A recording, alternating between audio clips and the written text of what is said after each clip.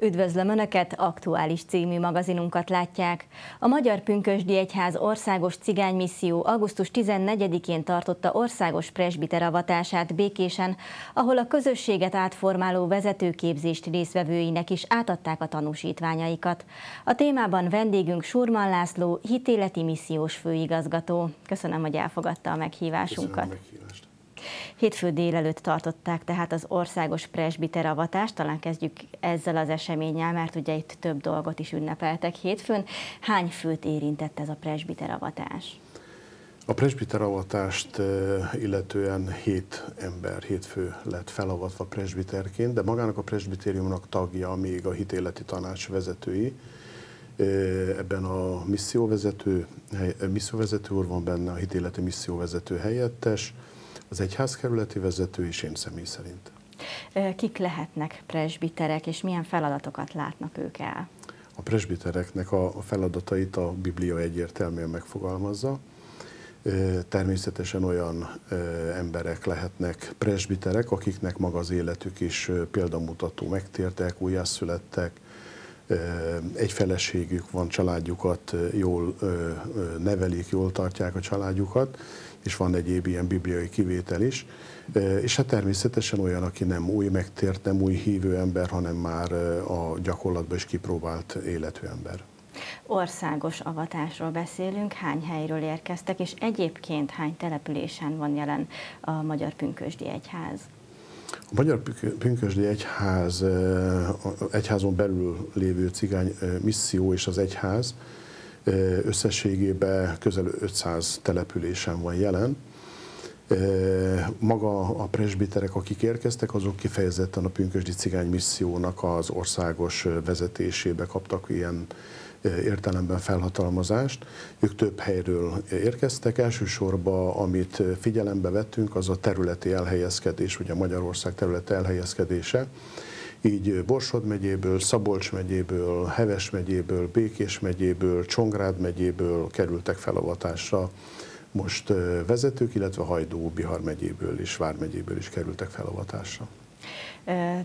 Többször voltak már vendégeink itt a stúdióban is az Országos Cigány Missziótól, és mindig olyan érdekes megfogalmazni, hogy a Magyar Pünkösdi Egyház és az Országos Cigány Misszió, noha valamelyest két külön szervként működik, de mégsem lehet elhatárolni egymástól, ezt jól látom? Semmiképpen nem is szeretnénk elhatárolni egymástól a két dolgot. Ugye a Magyar Pünkösdi Egyház létrehozott különböző misszióágakat, missziószervezeteket. 1996-ban hozta létre így az országos cigány missziót, és ennek a vezetője a Durko Albert első perctől kezdve a mai napig ő vezeti ezt az egész szervezetet.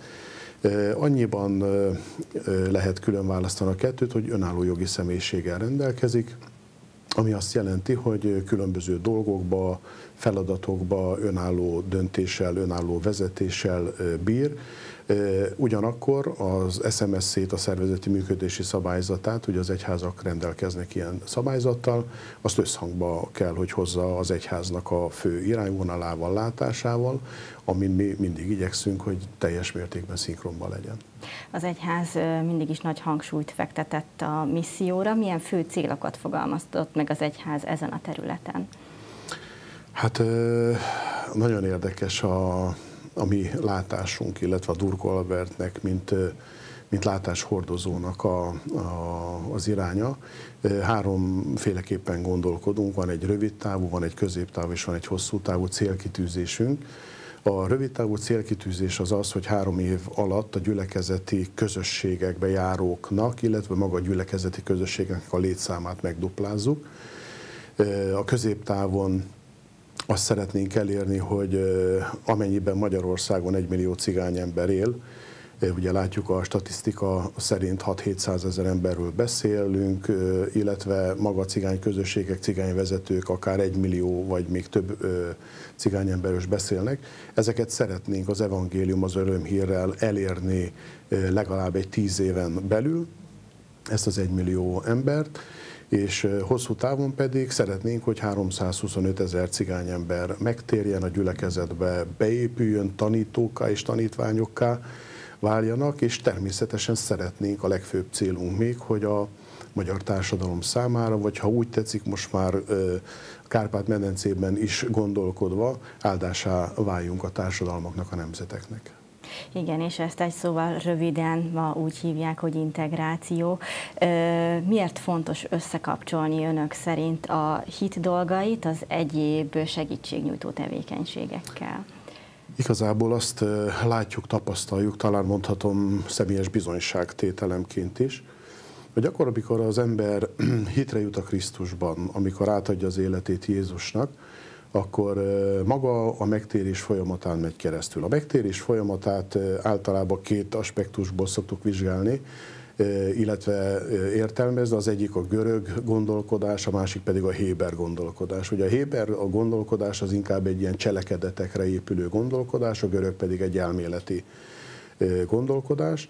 És a kettőt összekapcsolva megváltozik az embernek a gondolkodásmódja, ami által a cselekedete is megváltoznak. Azt látjuk, hogy a cigány emberek, amikor megtérnek, akkor ugye egy új gondolkodásmódot, egy új élet irányt tapasztalnak, látnak meg. Ha, ha most bibliai nyelven fogalmazom, akkor egy új szívük lesz, amivel új érzéseket, új megtapasztalásokat látnak. És ezek az emberek ebben a gondolkodásban, ebben az érzelemvilágban sokkal inkább fogékonyak arra, hogy maga a környezetüknek áldására váljanak, akár hogyha egy férfit nézünk, aki alkoholista vagy rossz életű volt, és megtért, megismerte Jézust, megváltozott a gondolkodása, onnantól kezdve máshogy viselkedik a családjába, esetleg munkahelye van, a pénzt nem más dolgokra költi el, szenvedély betegségekre vagy káros szenvedélyekre, hanem ráfordítja a gyerekeknek az oktatására, a környezete szépítésére, vagy, vagy azokra a költségekre, amire éppen szükségben van a család. Tehát a környezet is profitál ebből a megváltozott életből. Egyébként mennyi embert érnek el napi szinten a szervezeten keresztül? Napi szinten, ami lehetőségeink vannak, így a házi segítségnyújtás, az étkeztetés, a gyülekezeti munka, most csak a cigány misszióra gondolva, ez napi szinten kb. 20 ezer embernek a, az elérése napi szinten. Egy óriási tömegről beszélünk, de azt gondoljuk, hogy sokkal több lehetőség van erre, hogy az embereket elérjük, úgyhogy ezen dolgozunk, hogy épüljön ez a hálózat. És ennek a segítésére pedig képzéseket is hoztak létre. Miket sajátíthattak itt el a résztvevők?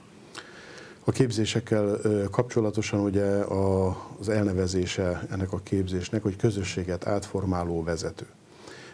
Benne van a jelentésében, hogy a cél, hogy olyan vezető személyeket tudjunk képezni, akik hatással tudnak lenni a saját környezetükre, át tudják formálni, át tudják alakítani a környezetüket, illetve az ott élő embereknek a, az életét, gondolkodásmódját.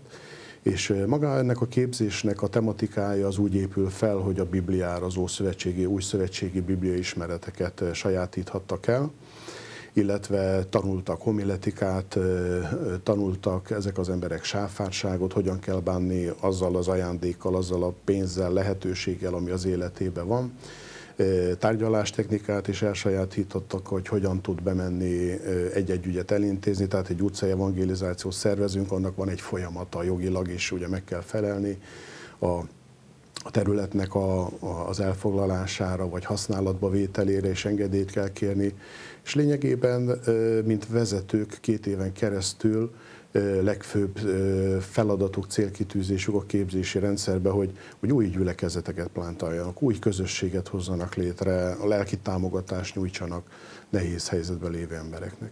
Hányan voltak ők, akik most tanúsítványt vehettek át? 28 fő volt, aki elkezdte a képzést, ebből 24 fő volt az, aki sikeres vizsgát tett. A négy fő, akinek nem sikerült levizsgázniuk, nekik személyes egészségügyi okaik voltak, tehát ez is egy rendkívül öröm a számunkra, hogy nem lemorzsolódtak és kimaradtak és elmaradtak a rendszerből, hanem sajnos kórházi és egyéb egészségügyi problémák miatt maradtak ki. Tehát 24 ember volt az, aki mai napon átvehette az ő tanúsítványát. Hogyan tovább most már a bizonyítványnak a birtokában?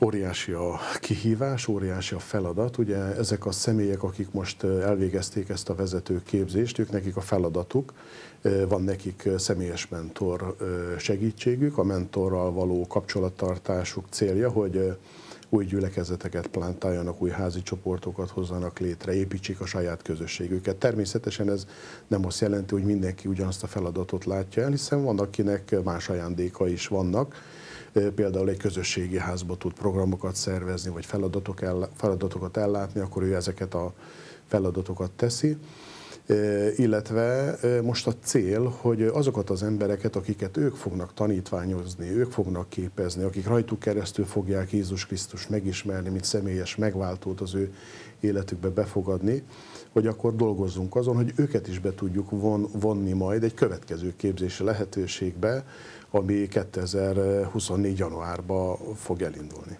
Tehát hamarosan a tanulókból is tanítók lesznek, és így tovább. Így van, a, cél így válik valóságá, hogy a, tanítókból, a tanítványokból tanítók lesznek, és újabb tanítványokat fognak majd maguk körül bevonzani. Körülbelül egy évvel ezelőtt beszélgettünk itt stúdióban arról, hogy egy Magyarországon egyedülálló módon egy templomot is szeretnének a közösséggel felépíteni mezőberényben, és mindezt közösségi adakozásból hoznák létre. Hogy áll most ez a projekt? Hát annyiban, hogy javítsam ki, hogy Magyarországon nem ez a nem ez a templomépítés az első, van kettő cigány templom, de viszont azok görög katolikus vonalon épültek ezek a templomok. Ez, ami most épül mezőberénybe, ez a Pünkösdi Egyházon belül az első cigány templom, a cigány misszión belül aztán meg abszolút az első. Jelen pillanatban körülbelül egy 50%-os készültségi állapotban van az ingatlan, további anyagi támogatásokat várunk, és természetesen szervezünk különböző programokat, ahol ilyen pénzgyűjtési, adománygyűjtési lehetőségek vannak. Nagyon szeretnénk, ha 2024-ben mondjuk karácsonykor egy éjfél Isten tiszteleten már ott lehetne prédikálni. Ez egy nagy öröm lenne a számomra, ez megvalósulhatna. Sorban Lászlónak köszönöm, hogy a vendégünk volt, és további eredményes munkát kívánok. Köszönöm szépen, hogy itt lettem. Ez volt az aktuális, holnap ugyanebben az időpontban jelentkezünk magazinunkkal. Maradjanak továbbra is velünk, viszontlátásra!